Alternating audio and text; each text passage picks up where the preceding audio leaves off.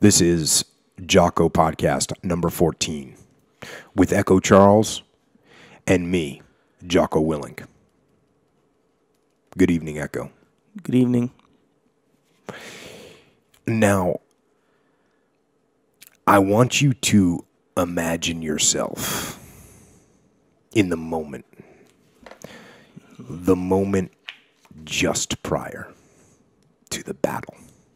Now, I, I don't want you to think that because you're a soldier that this training has made you into some kind of a superhuman or maybe you into a different kind of being because it hasn't. The training that you've been through hasn't changed the fact that you're a human being.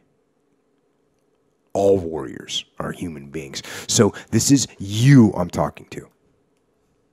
And I want you to think about that time before you are going into the battle because that's the time when you can actually think. When you're waiting. When you're waiting to go. And if you're going to feel fear, this is where you feel it because you have time the preparation is done, the planning is done, the briefing is done, the gear is prepared, and you are dressed and you are ready to go. And now you're just waiting. Waiting for the call or for the signal or for the command to execute. And so you have time to think. And in fact, all you can do at that moment is think. And if you're in Iraq, maybe you're waiting to go into the Malab district of Ramadi, where there's been vicious IEDs and casualties happening every day for months on end. Or if you're in Vietnam, maybe you're in a helicopter and you're about to take part in an air assault on a known enemy stronghold. Or if, you, if you're in the Korean War, maybe you're hearing the whistles. The whistles signaling a coordinated attack by the Red Army. And you're just waiting, waiting for the shooting to start. And if it's World War II, maybe you're just offshore and you're in a landing craft, and the sound of explosions and gunfire in the distance on the beach where you're headed. The beach you're waiting to hit.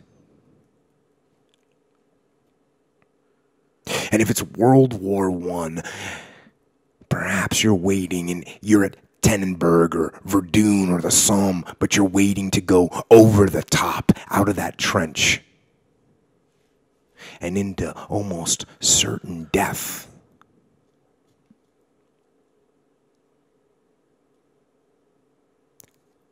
And in that moment, what do you think about?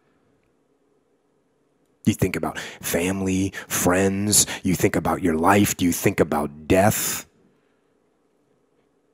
You think about that girl you you wish that you would have asked to marry? Maybe you're thinking, how did I get myself into this? Or maybe you're thinking, how do I get myself out of this? Or maybe you're just sitting there rethinking the plan and the sequence and the orders you were given. Maybe you're thinking about your friends getting killed or wounded. Maybe you're thinking about yourself getting killed or wounded.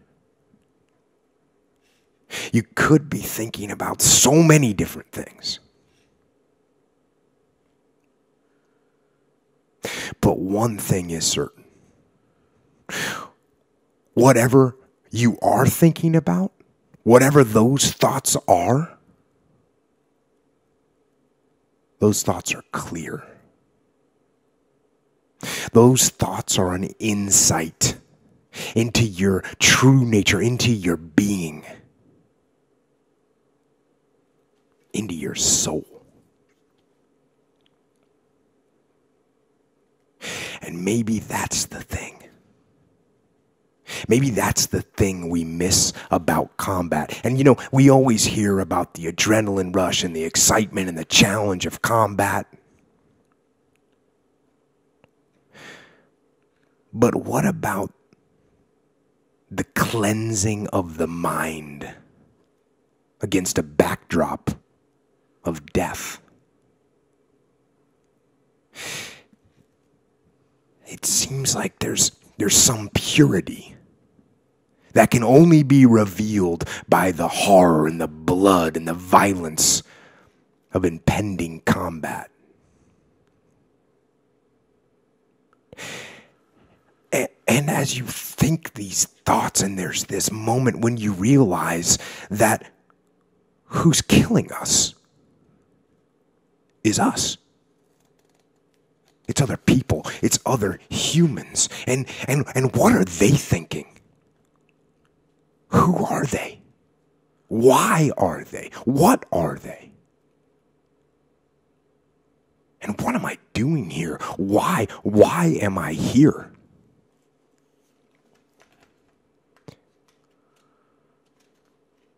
And despite all those thoughts and all those ideas and all those questions, there's only one answer. And the politics, they disappear, and the thoughts disappear, and the fears, and the reservations, and the concern, and the ego, it all disappears. Because at that moment, that moment of truth, there's only one answer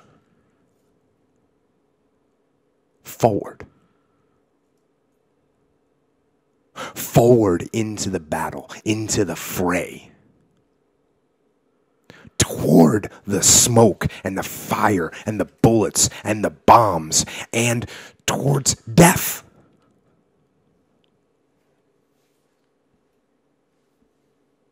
To face it all head on.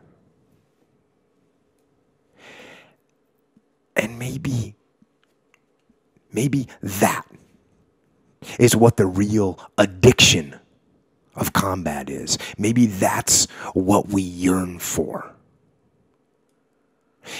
Maybe those those are the thoughts that fill our dreams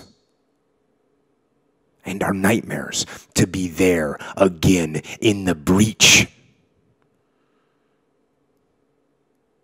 To have but one clear and resounding purpose for everything in our lives, everything in our world, everything in past, in present, in future, all of it wrapped up into that one instant have that one singular purpose for being alive at that moment to attack. Attack with everything you have, with every ounce of commitment, with every bit of clarity and focus that you as a human being can possibly muster. Attack with your weapons and your mind and your body, and attack with your very soul.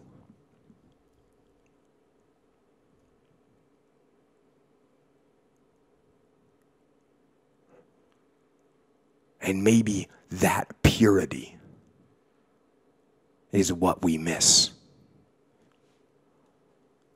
is what I miss. About combat.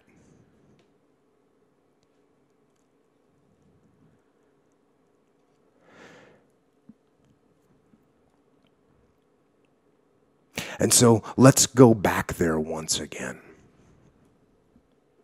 Once again to the battlefield, to World War I. Again, in my mind, the most brutal of all wars.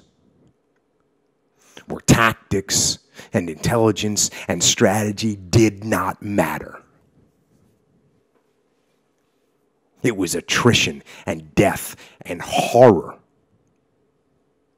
rendered possible only because of the purest and almost insane level of selflessness and bravery.